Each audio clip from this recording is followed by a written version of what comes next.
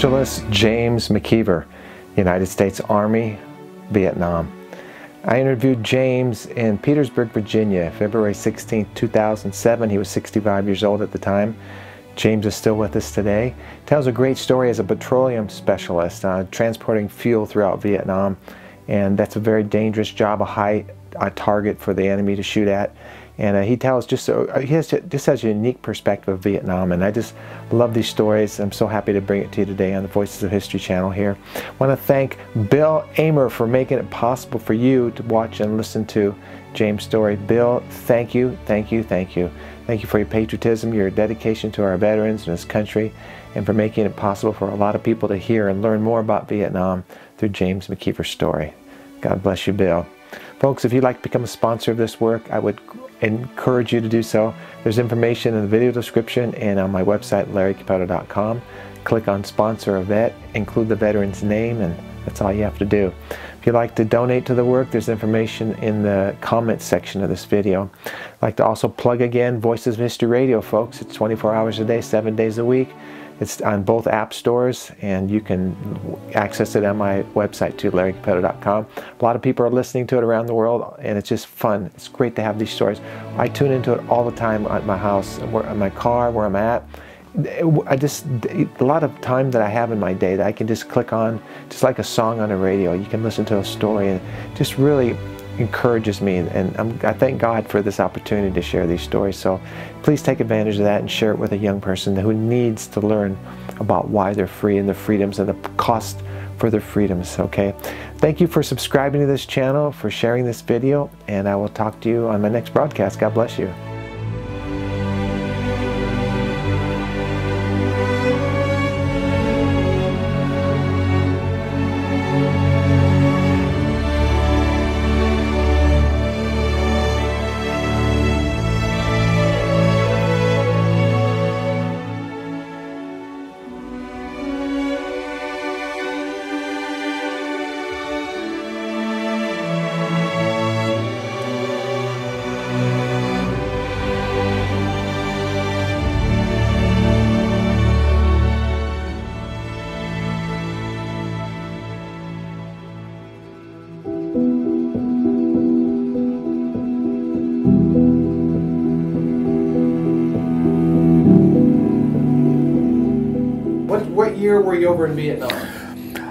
I was in Vietnam in 1968 and 69 and 70 and 71. Two tours? Two tours, yes. So how old are you now? 65. So you were how young at your first tour there? 30 years ago. My first tour, I uh, was in the, oh, I forgot. Well, 40, I was 42. 40. No, I'm, I'm, 42 in the 60s. I was uh, 42, 52, 62. I was about 30 in the 30s. It seemed like that. Didn't seem like that. You in your 20s when you were in Vietnam. Yeah, I was in my 20s, the first tour. Okay, well, did you enlist? Well, I was drafted. In the Army? I was drafted in the Army in 1960. 60? Okay, so so Vietnam rolls around and you're in the military? I've been in the military when when uh, when when Vietnam really got hot. I've been in the military uh, about seven years. So what was your rank at the time of Vietnam? First tour, I was an E4. E5, I'm sorry, E5. Sergeant? No, spe Specialist 5. I was in a petroleum supply unit. Okay. Uh, uh, in, uh, what is it? I think it was the 528. I believe it was a 528 uh, quartermaster company out of Fort Lee. They deactivated that uh, uh, unit uh, especially to go to the Vietnam as to take over the petroleum responsibilities for the Mekong Delta. Uh, so I was an E5, and uh, we departed uh, uh as a unit, and we went to. Part of our units were spread out like in petroleum supply. You have uh, a pipeline platoon, and you have three other petroleum supply platoons. And when we got into Vung Tau, this is the port town of Vietnam, I thought we were going to stay there, but we didn't stay. The company stayed there, but we went to a place called Dong Tam. Mm-hmm. There, where we begin to build uh, petroleum tanks, set up petroleum uh, bags and stuff in support of the 9th Infantry Division, who was not there yet but was coming. So your role is what now? You're a, I was a I was a petroleum specialist. okay. Now, did you get into combat at all? Around combat? I got well, we got boarded every night, or we were in the midst of uh, Vung, uh, to, give you a little bit of information about Dong Tam. Dong Tam was dredged out of the water, and put, was put as a base camp. Dong Tam didn't. They they Dung they made Dong Tam existed by dredging out of the water. And it was more like a base camp, but it was centered in the Mekong Delta. If I had a map, I pretty well could show you. And so by dredging out of the water, and we were building it, roads, buildings, and we were, like I said, was in charge. We get mortared every night, every night, sometime day and night. Uh, it, it really got where you didn't get no sleep because you were scared, and basically, they I they, that's how I got a Purple Heart. They hit the building that I was in. It, it we were it was forty some of us in the building, and and a little bit of all of us got a little bit of that that that rocket that hit that building. It killed uh, several guys, but it it wounded maybe 15 or 20 guys, including myself. Uh, it's again at the time I was in E5. I didn't. Once we lost, we lost a lot of NCOs in that, so they promoted a lot of NCOs. I was promoted to E6 at that time, and so uh, I stayed there until they uh, until I I'm trying to tease. I just I stayed there until uh, I was transferred back after a year. See, you're supposed to stay there six months, but I stayed there a year, and was transferred back to to Vung Tau. Okay. That was the company headquarters back then. Let, let me ask you this now. When you first went in country in Vietnam, what do you remember about the sights, the sounds, the smells? I mean, do you remember? Do you remember You know, I, again, we was on ships. We yeah. we departed uh, from San Francisco Okay. aboard the USS Upshur. That's a troop ship. Okay.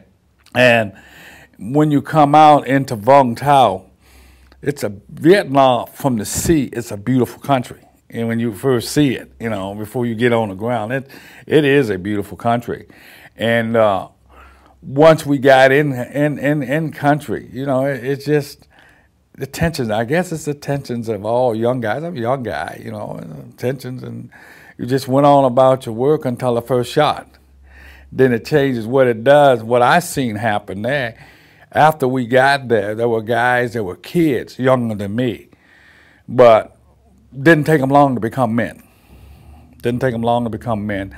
And the difference in what I see, somebody else asked that question, and the difference what I see it, that happened to us and what I see that is in Vietnam, I'm gonna say in Iraq, that we were trained in doing what we need. We knew what our jobs were basically every soldier is trained to be infantry. They specialize. But we knew what our jobs were, and I, am I'm, I'm sort of glad that we did because we could have lost a lot of people. As you take that picture I give you there, them, uh, we lost a lot of tankers. A lot of my friends were blew up in tankers and all the other things. It was a dangerous thing to move fuel from one point to the other in Vietnam because that's where they want to stop is the fuel and the ammo. So now the smell was like any other country. But when the smell, when I went up into the Mekong Delta, now that was a different environment because you were put up with snakes. You know, I ain't never seen a cobra before till I got to, to Mekong Delta. Uh, uh, all kinds of snakes, vipers, and these types of things. We were we had to clear out areas, and uh, a friend of mine uh, was another sergeant buddy of mine had the detail of helping create the air, air airport, you know, a landing zone for the for the airline for the for combat planes to come in small planes, and he we have backhoes and uh, bucket loaders in the petroleum.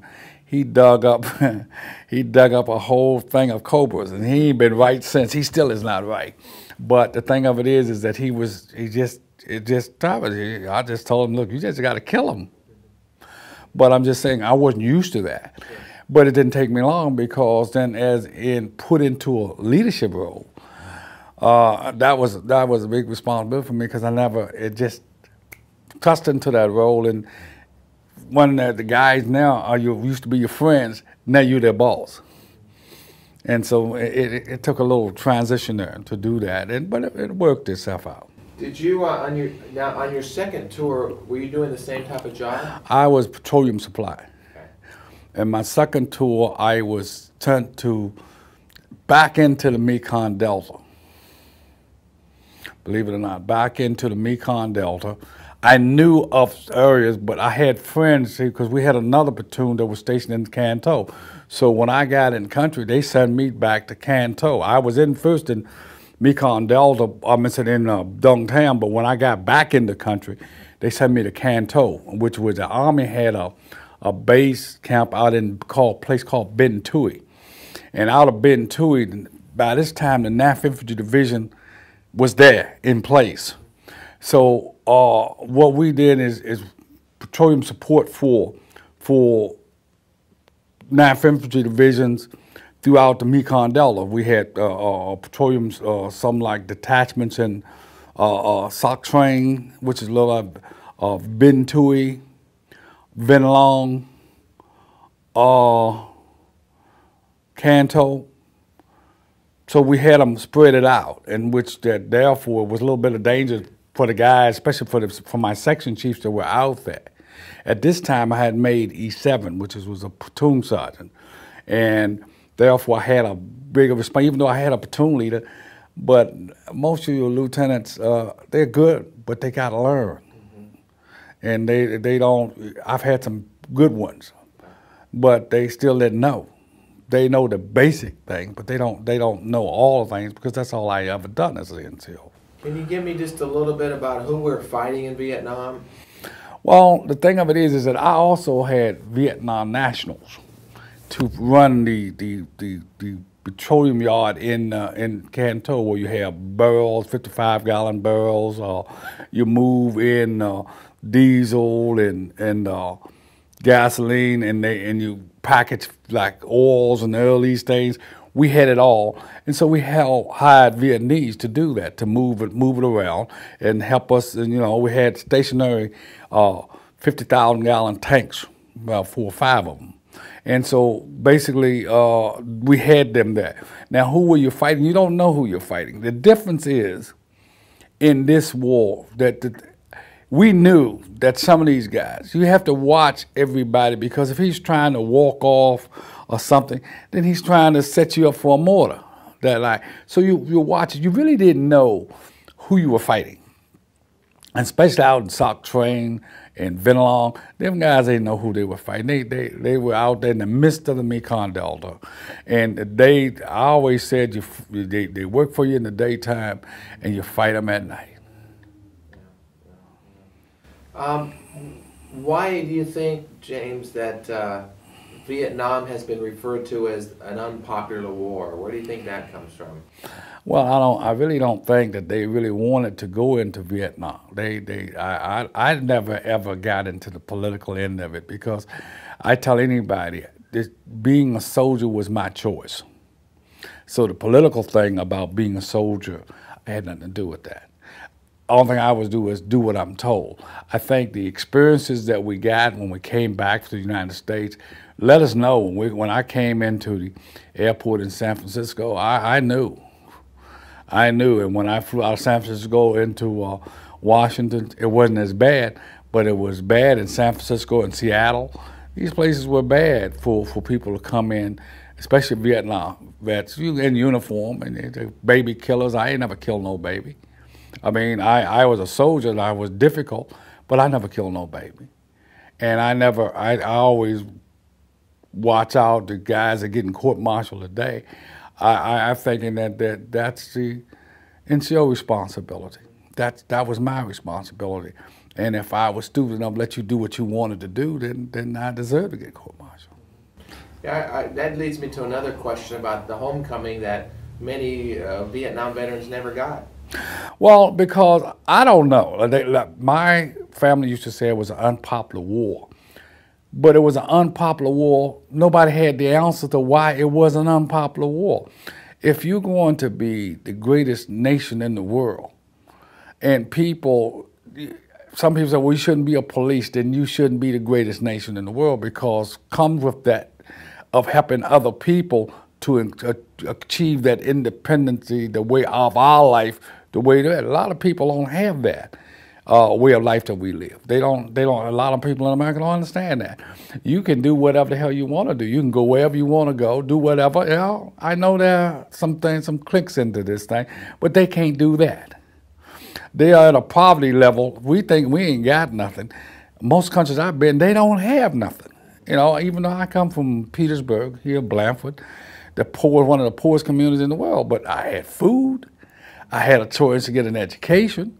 And so they don't even have that choice. So I don't know why it was so unpopular. I really don't. I think it was the time that the students rebel. I think they were rebelling against uh, uh, our whole way of life during that time. The, the same old guards then is the same old guards that running the country now. So it was screwed up then, and it's screwed up now. I mean, anybody that you can make any correlation you want from Rumsfeld to Cheney, to Nixon, to Baker, all of them, to Mr. the first President Bush, they all were there. And they all had something in running the country. We used to teach the white male club.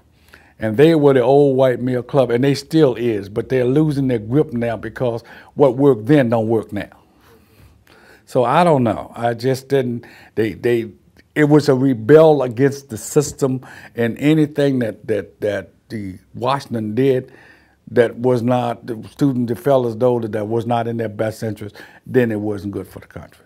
You said that the young men or boys, they grew up fast. Why, why did you say that? What happened to Because, because when you see people blown up, you go out in the country, you see people dead. In the first tour, our petroleum when I was next to grave registration.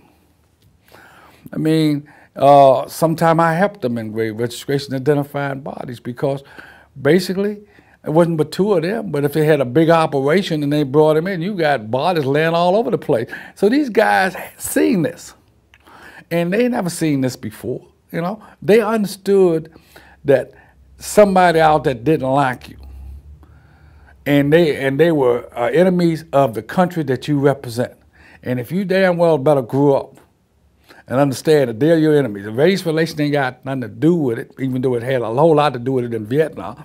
I should tell them, because you white or because you black or because you Hispanic, carry your ass out there and tell them wear that American flag, and then tell them, well, I know I got I got black power, or I'm a white guy, or I, I got La Raza, I got all this. But you forget that you're an American, and that's what make them grow up. That you are an American and you're the target. Good point, man. That was good. Um, the uncertainty in Vietnam, did that cause a lot of anxiety and stress that, you know, not knowing who your enemy was at times and Well, they knew who they were. But the guys guys knew who they were. You know, you tell a guy to look, it because you got to be able to relieve your responsibility as a man sometime, you know. Uh, they because they come up the water and, and offer you that service, sometimes you gotta learn how to say no.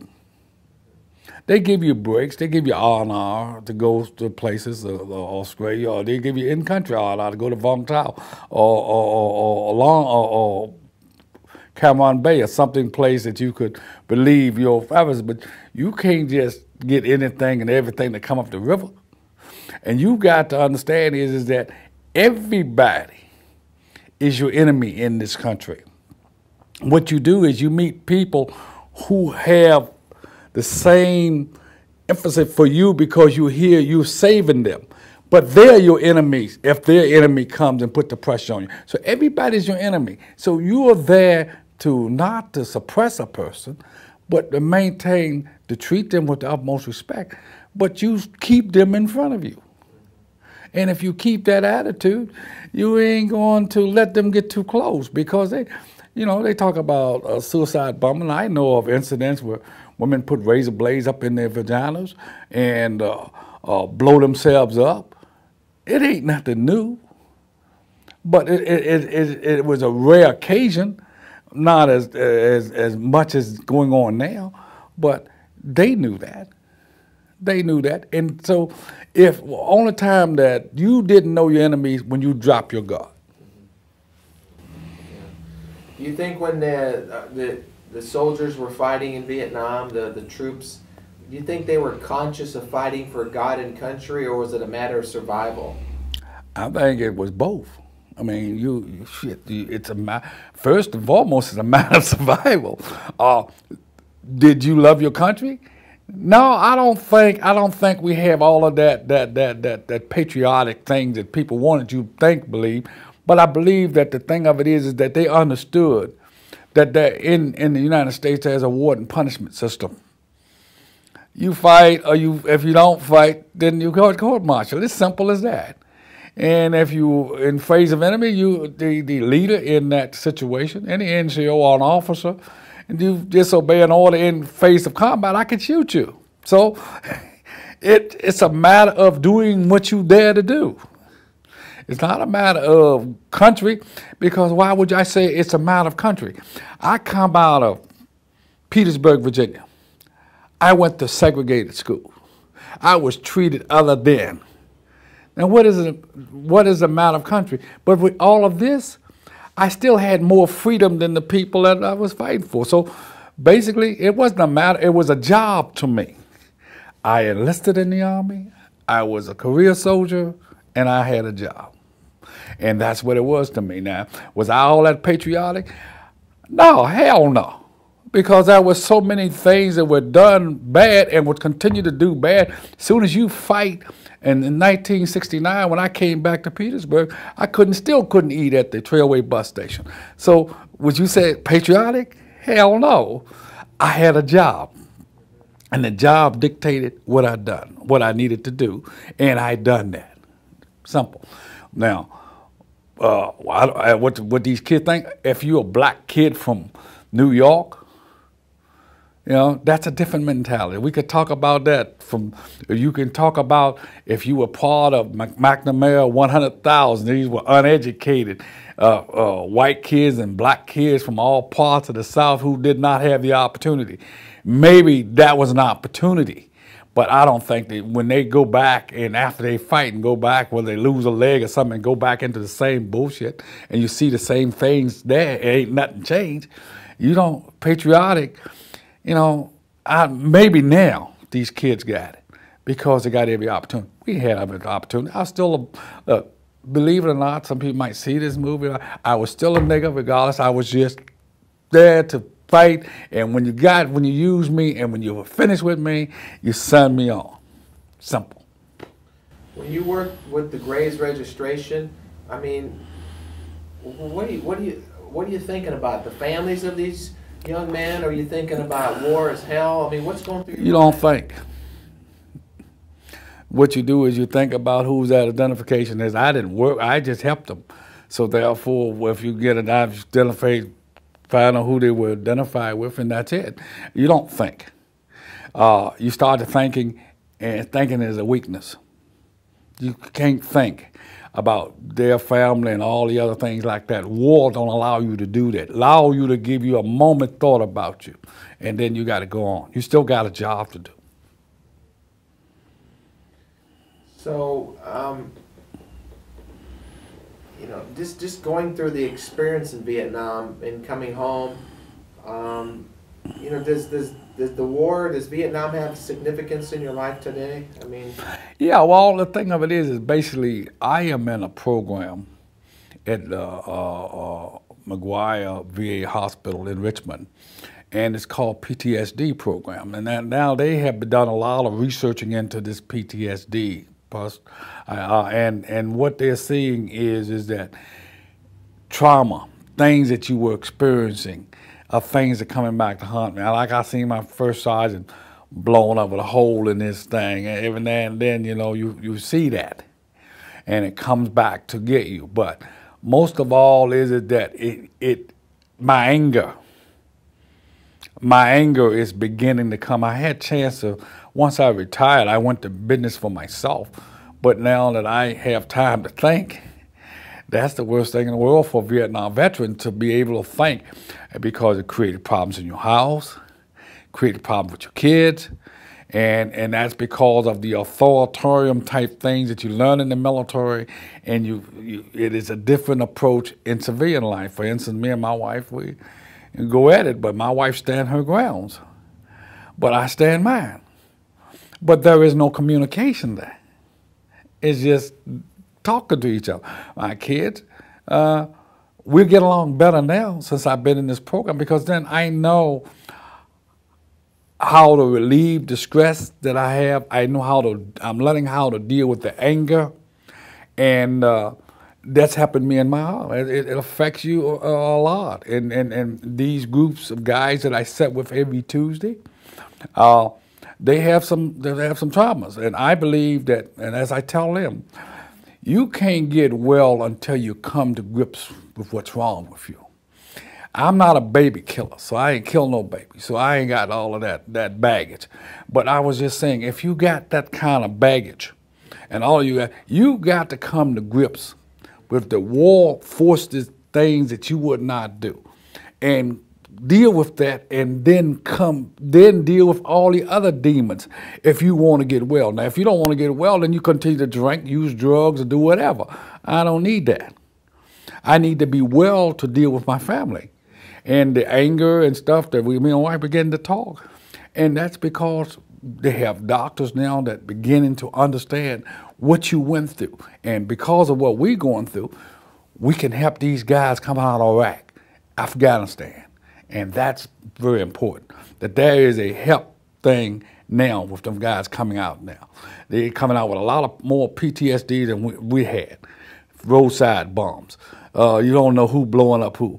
I mean, you, you're so scared that once you leave out your compound, you got to be scared.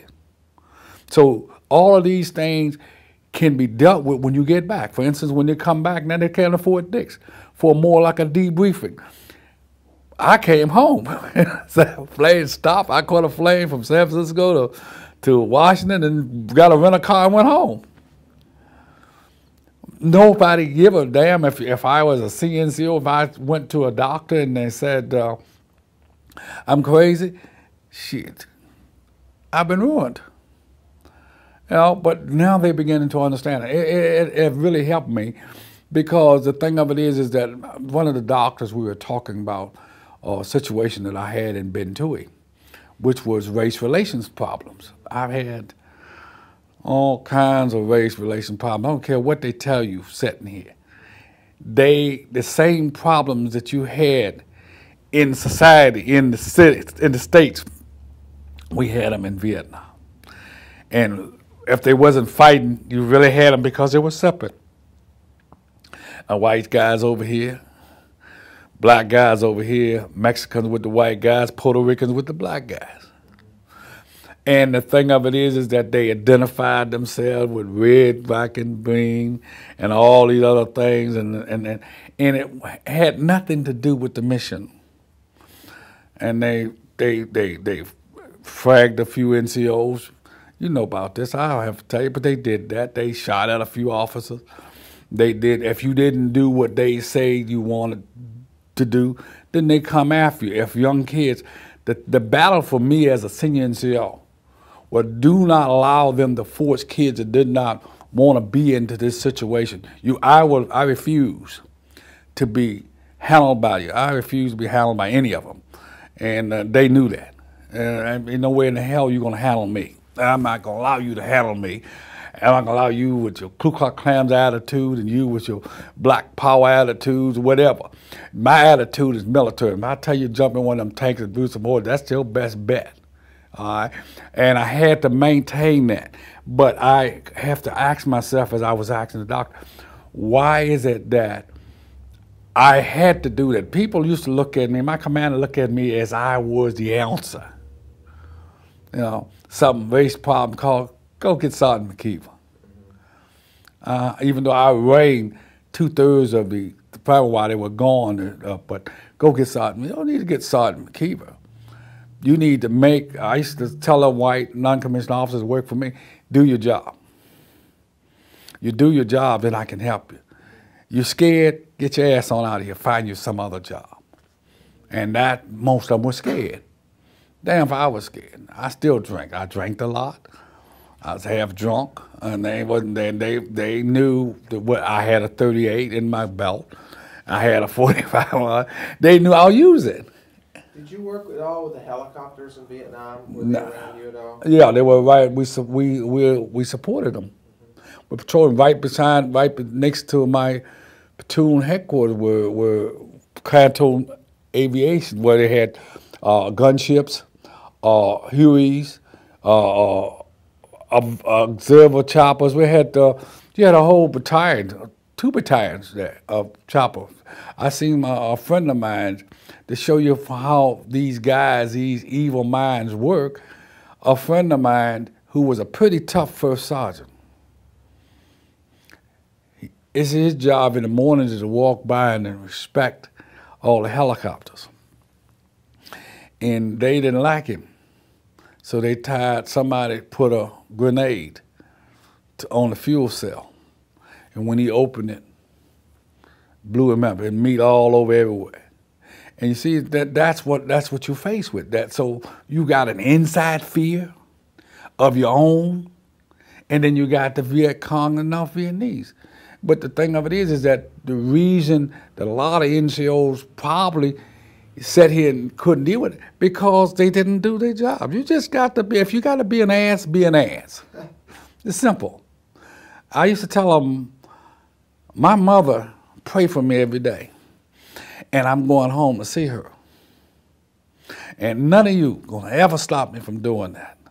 And if you don't do that, I could fight too, sir and I could run. I, I was in excellent shape, and they knew that. But all the the thing about doing your job is, people who need to be promoted, get them promoted. People who need help, get them help. People who need to be court-martialed or out of get them that too. But be fair and be just. That's all you had to do. And I didn't need no friends. I got, I tell them I got six brothers and seven sisters. I don't need a hell of a lot of friends. I, I got a whole lot of friends. I am not here to be your friend. I'm here because I'm your leader. So you lost friends or that were wounded or killed in your tours? I mean, you knew people that were. Yeah, I lost. I lost a friend. Me and him left together. We both had same MOS, but he went up country and uh, Roy. I'll never forget him. He's a member of Club 17. They still got his picture in the Club 17, which is up the street he was there two months and he opened up and the tanker blew up with none left of him. And me and him left together. Uh, first sergeant uh, was a good guy and wasn't my, like I said, he died here on his arm. I uh, knew a lot of friends. But, you know, soldiers, you give you a minute and you're going about your job. That's the way that is. What would you tell a young person today about the price for freedom, um, having seen these things? I mean, how would you explain to them what they have? Because they don't even realize what they have. They don't care. We, we got a generation here. How you explain this? Because I got kids in this generation. This generation here, for some reason or another, every generation, there has to be something. This generation here, if you look at what they want is what did you do for me lately? How can I beat you out of something? Or it ain't what you can do for the country. What can you do for me? My son, your son, or anybody else's son. And they don't, I don't know, they, they feel like they got all the brains in the world. But we haven't made and, and you know, and I look at that, and this this might get me in trouble, but I don't care. I can handle it we have even as a race, even the only thing I see that we as black people have done is change our name. We're now Afro American. We ain't we ain't doing a damn thing. We just doing the name thing. We got more doctors, lawyers, educated folks running around here, and boom, where are we at as a race of folk? We still shit. We if you look at the, the, the, covert discrimination, de facto discrimination, and all the other things, the jobs and that, we still we are better off then than we are now. And you ask yourself, well, How did that happen? Because we try to assimilate in things that we don't most don't don't need. What we need is to go back and take that education and that and put it back in the community and help us keep these young people out of jail. We got more people in jail than anywhere else. We got more drug pushers and all on the corners. They don't know that they they just pushing somebody else's drugs. They don't know the difference. You can't tell them. So what you have to say to them is this: you must make the change. You must become an individual. If you think that the country that you are involved in is wrong, you must get involved. And you, regardless of black or green, if it's wrong, you must get involved. As white people are finding out, the old guard have really messed this country up. Have black people who try to assimilate the old guard, they in, in a dilemma. And in the next two years or so, we might get this thing back together. But we got to do it together. And we and if you're not willing to do that, you're not willing to take a risk to get this thing together, then you don't have a right to talk. Have you ever been back to the Vietnam Wall? I don't go there. Why is that? I went there once. I don't. I don't need to go there. I don't need. I don't need to reminisce. Uh, I don't think I'm that. I'm sick, but I'm not that sick. I don't need. I don't need to hustle backwards. I need to continue to think positive and understanding. I'm, I'm learning all this in this class. I don't need to go back for healing. I need to be able to deal with decisions that I made as a senior non-commissioned officer, deal with them, make sure in my mind that I made the right decision, throw it behind me, and go on. Were there decisions that you made that were wrong? Or? Yeah, well, I, I often look back at myself and ask myself, did I treat black soldiers fair? Or did the system force me to treat them other ways? Did I make some good decisions that way? And that's what I deal with. Well said. Um, why, why do you think, well, okay, let me ask this. What, what should people remember about Vietnam? What people should remember about the blunder, the United States blunder, and, and that's probably why they're trying to stop Iraq from the same blunder. And then we had to cut tail and run.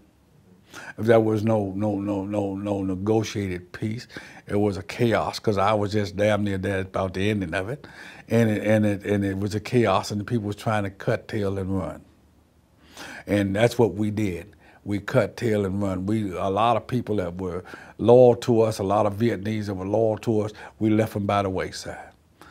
And I, I don't know what happened to them. They said Vietnam has totally changed now. I don't know. I've never been back there. But I'm just saying to you, we need not to ever let that happen again. And I think American people finally woke up and said, okay, Mr. Bush, this ain't gonna be no, we don't, right now, we need to cut our tails and run, but we need to find an honorable way out of this thing. We're not gonna run off like we but we're gonna find an honorable way out. And 10 or 20,000 more troops is not the honorable way out is what they're telling him. And maybe that's it. Maybe we can find an honorable way out.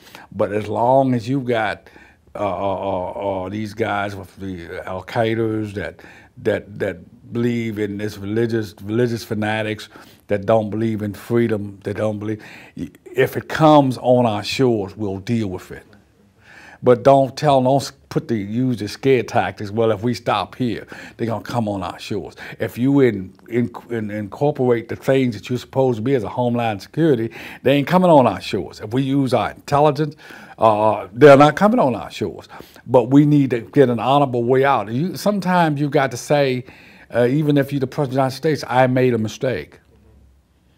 And now I need your help in order to correct this mistake. Not use your position of power to say that you can't make a mistake, because you can. Are you proud to be a Vietnam veteran? Oh, yes. Yes, I'm proud to be a Vietnam veteran. I'm proud to be a Vietnam veteran because I'm proud to be able to serve my country in whatever capacity that I could at my early age. And so that makes me proud. If I served in Vietnam, then that's what it is. Now, is my country right? No but I would do it again. Do people thank you for your service? Every now and then, well, if I put this head on, you know, and how does that make you feel? I, I just ignore it. You know, it's a good thing. My mother told me a long time ago, and it's and it's and it's so pertinent today that God gave you two ears. One to hear it, and the other one let the it flow. That means if you didn't do it then, what the hell are you doing it now for? I don't need it now. I needed it then. And so if you thanking me, thank the kids that are doing something for you now. Don't thank me. That you, I'm proud to have served. I've already thanked me. I don't need you to stroke me now. What I need you to do is see the mistake that you we made and, and treat these kids better than what you're treating them. Because these kids are not being treated fairly either. And when you do your documents, you're going to find out that they're not treated fairly. So thank them, stroke them. Don't stroke me, but I will not embarrass you by coming in. I just use the two ear method. I said, thank you. Oh, no, no, no, doesn't mean anything to me. What if somebody thanks you that wasn't even around in Vietnam? I mean, you know, after a, a teenager today, wouldn't that be different though? No, it would be different because they're thanking me because their parents telling them to thank me. If they come to me with a different thing of what was your experiences, I could deal with that because I then can can allay the experiences that uh, uh, uh, that I had in, in telling them about their responsibilities. And when I tell them about their responsibilities, whenever I speak, I don't speak as much, I tell them about their responsibility. And I can only tell them about their responsibility as it relates to me. Uh, I was a, a, teenager, confused and uh, everything in 1960. However, they drafted me and they put me in an infantry unit for two years. With a, I was in the room with six guys. Four of them had master's degrees. And the other guy was like me. So that was, an, and then they started talking to me about education. I never talked about it. They started helping me to understand. They helped me to read, to interpret, interpret words, and so on. And they were white. And I'd never been that close to a white dude before where I slept in the same room with them and we share the same food. We go out in the field together. So it gave me a, a new sense that I never had, that that was an experience that I never experienced. So I don't. I think you need to go back to the draft. I, if I had, if I, I would would have never cut it loose because it it was something that every person in this United States had was going to do with obligation. See, freedom is not cheap. We might think it is. Freedom is not cheap. They got to leave the United States to see how other people live to appreciate what you got here. And if you've never done that, then you can't appreciate what you got here.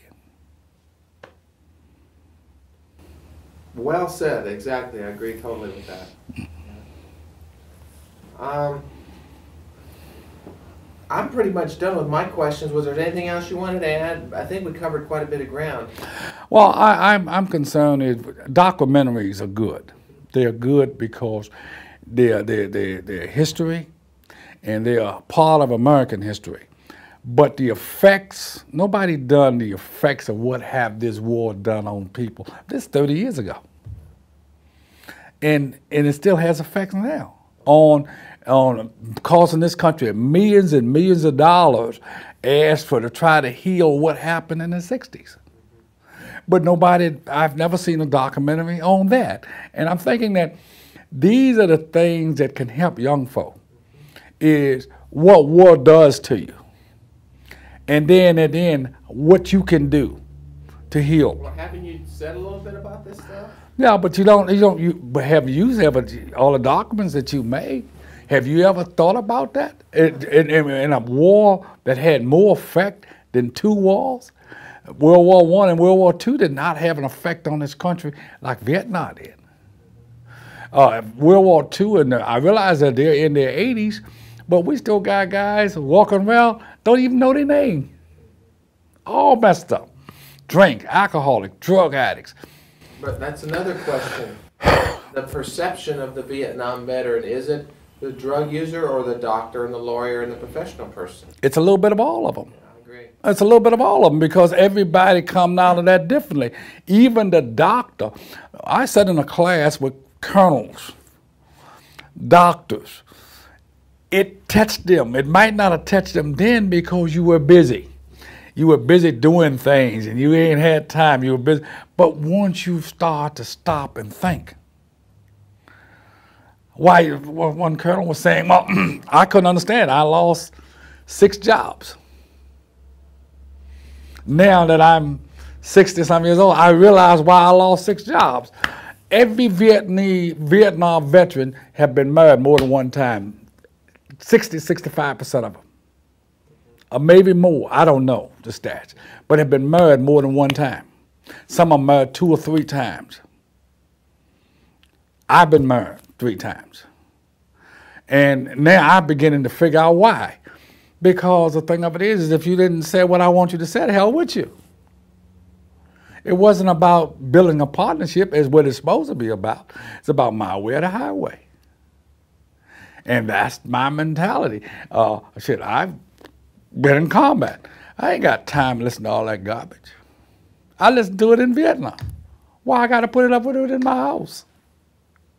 So there's a whole lot of avenues that need to be approached. There's a no lot of things that need to be talked about, and that will help our future generation in dealing with wars. I believe that. I mean, I might be wrong, but I believe that that's what we need to do. We need to start to educate our young folk. And if we educate our young folks properly, we wouldn't have end up with a with a with a generation like an all, all screwed up generation like this generation. Half of them in jail, half of them walking around, half of them don't care. And, that, and I think that comes with education. I can send you, I can send my daughter down to school or my son down to school, but I cannot teach them everything. And I cannot, they understand my values. But my values is not what they got to deal with. They have to learn how to deal with people of their peer. And peer is the most dangerous thing in the world is peer pressure. How come so many Vietnam veterans have, have killed themselves? They can't deal with reality. That's all. I'm not a doctor, so I can only tell you from what we've done setting in these. They can't deal with reality. They look. Some of them have done some horrible things over there. Let's let's let's be real. Some of them have done some real horrible things over there, especially combat guys, especially these guys that were in that put out on these little villages and and they and they they they go in there and they get fire and they go in there and they kill some people and it had nothing to do with the fire. I don't care who you are. It lingers. It lingers. Now, you might not got caught, but you got caught because you know you done it.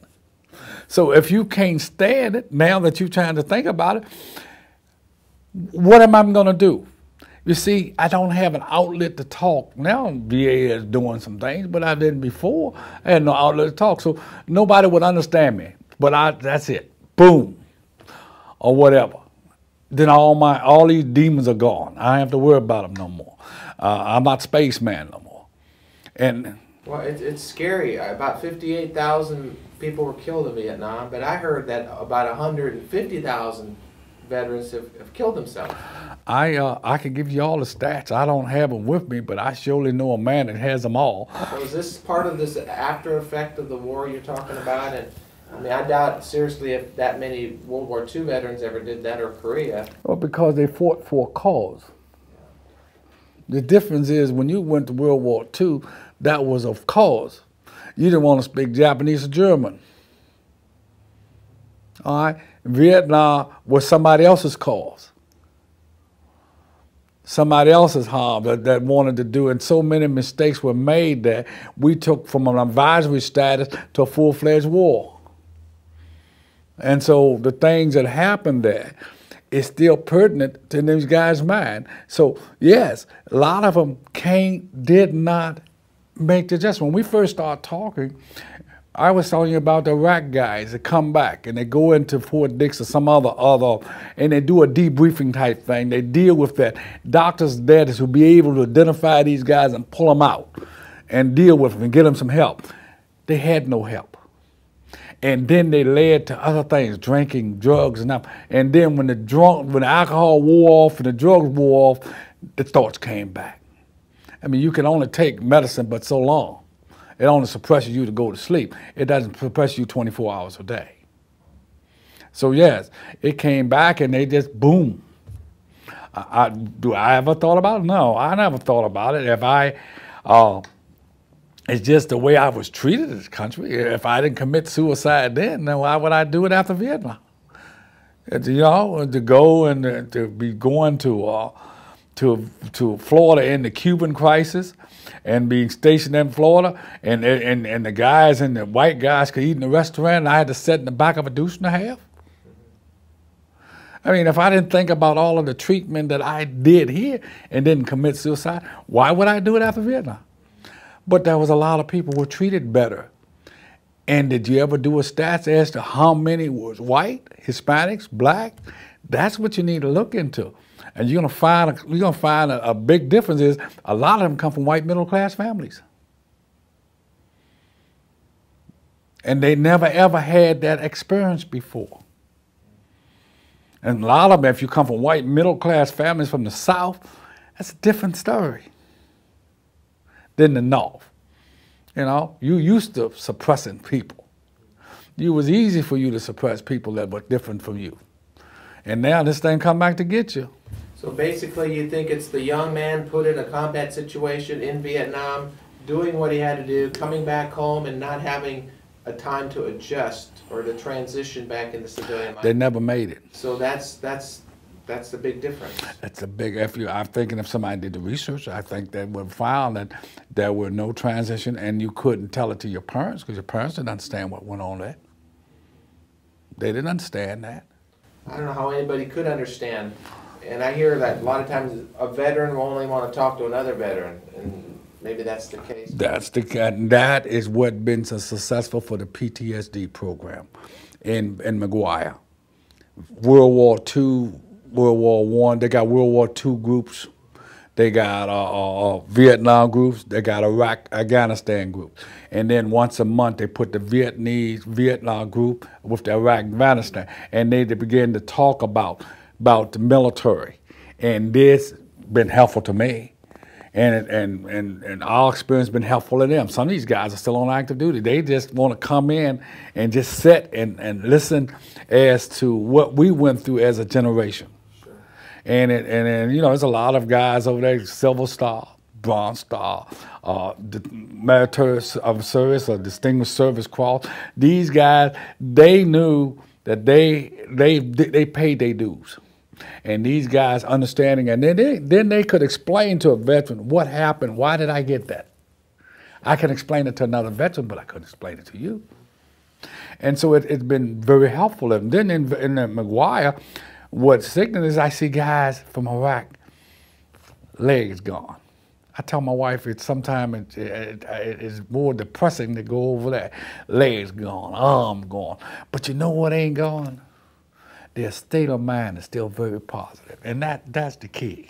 And I and that that that that that's my uplift when I see them and I talk to these kids and they they tell me, well, top, you know. Uh, I'm happy, but don't worry about it. I don't worry about me because I'm I'm going to get on out here and I'm going to go on with my life. I understand certain things, and that that I couldn't have said that.